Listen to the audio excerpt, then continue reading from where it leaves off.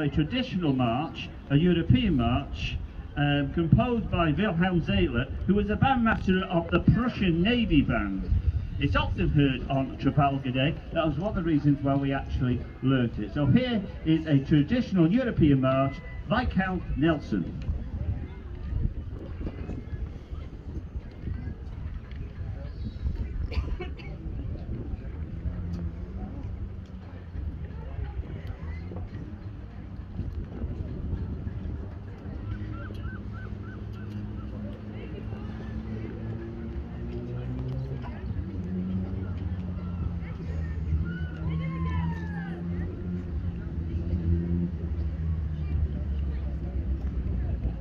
Thank